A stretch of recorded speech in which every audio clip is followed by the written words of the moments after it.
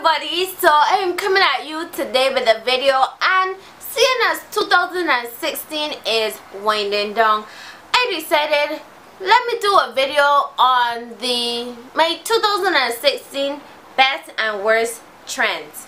No this is gonna be kind of beauty related fashion related video because I mean of course that's the majority of my channel. So I hope that you enjoy if you haven't already go ahead and click that red button right there that says subscribe and subscribe to my channel.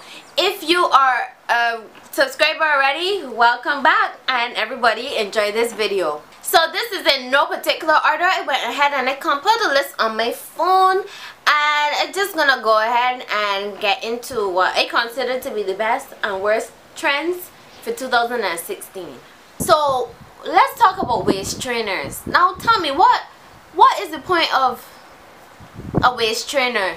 You're gonna stuff yourself, and I'm not talking about um, a particular size or whatever. Regardless of size, you're gonna stuff your stomach inside of like this casing. You can't breathe. You can't. you can't bend down. You can't be comfortable. How are you gonna go and eat? With that on your stomach. How you gonna do anything with that on your stomach? It just looks so uncomfortable and I am pretty sure it's very impractical. Regardless of what people say and they say like oh it's comfortable you're gonna look slim you're gonna look trim you're gonna look whatever. That can't be practical it can't be practical it can't be healthy it can't be safe. And this one has come out like pretty pretty recently. Is these fur nails. I mean Oh, oh, I don't even think I have the words for that. You see, I at a complete loss. I mean, what next are you gonna put on your nails? You're walking around with like fur on your nails. What? You're an animal? Hey, what? What is the logic behind it? You want to keep your nails warm for winter? Somebody help me understand, please. And another one is that highlighter trick tip whatever that everybody wants to be doing walking around looking like Rudolph the gold nose reindeer is like a big exclamation mark on your nose. It's just like and then a dot.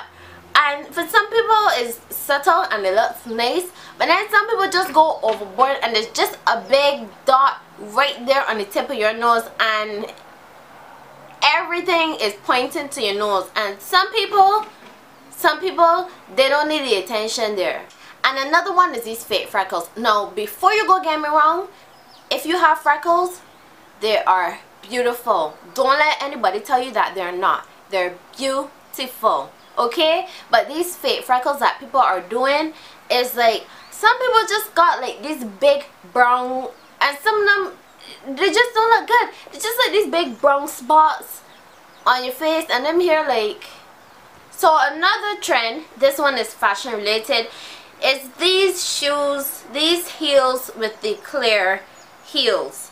No, I know when I was younger, I had a pair of slippers and I love those slippers. They had a clear heel and they kind of match with like everything and anything.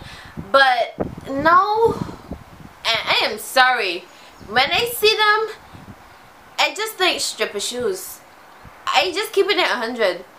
I think stripper shoes when they see them. That clear like plastic heel. And then along with that is these shoes with the what they're made out of PVC they look like PVC like clear PVC and I'm just thinking now when you put your foot in that shoe you walk around your foot is gonna sweat. So all up in there gonna be slipping and sliding and full of sweat and everything. I don't know how practical they are but they just look strange to me. They just look weird to me. So another fashion related beauty trend is chokers. Now chokers are nothing new but this year they just like sprang back into the fashion being. I don't know. Everybody's wearing a choker now. I even did a video with chokers. I love chokers. They look cute. They look nice. I like them. If y'all watch my videos, you know that I just do a little something something with my baby hairs.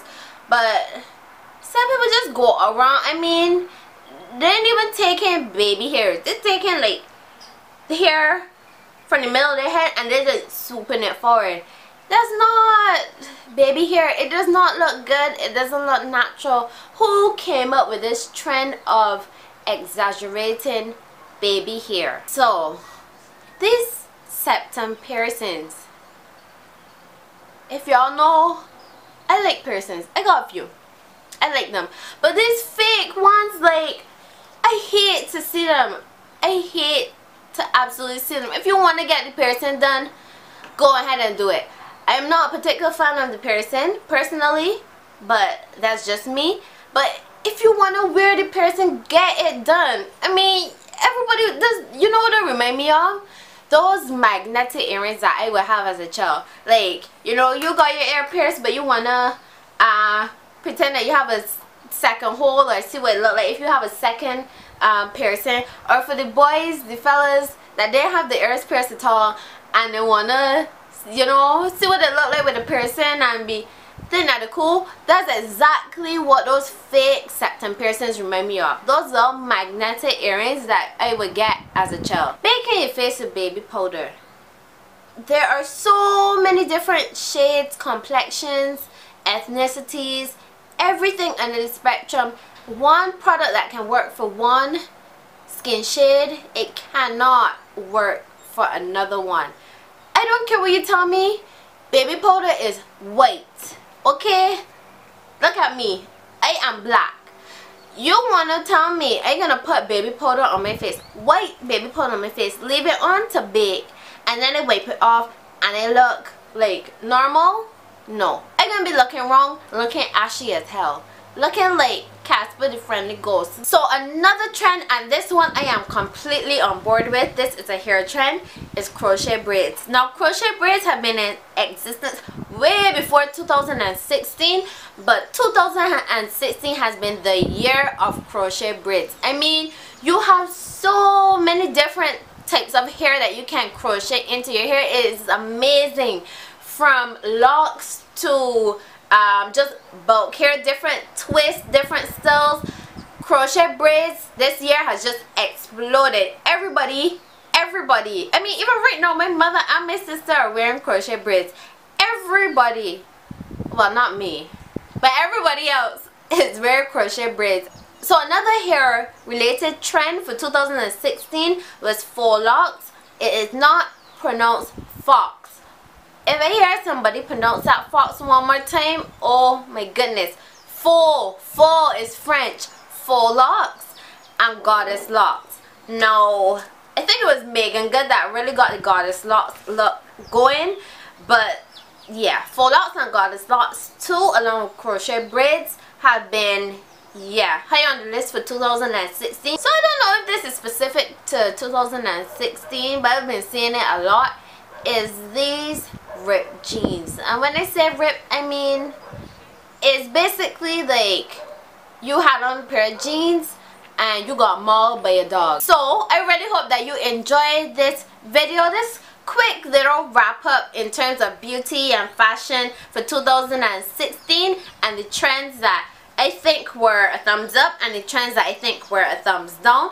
If you have any um, suggestions or you can think of any trends which you either really like or you really dislike that I didn't include in this video go ahead and leave it in the comments below. I would love to see whatever discussions or ideas or thoughts that you guys come up with. So I really hope that you enjoyed this video. If you have please don't forget to give it a massive thumbs up. And if you haven't already click my face right there and subscribe to my channel. So until next time bye bye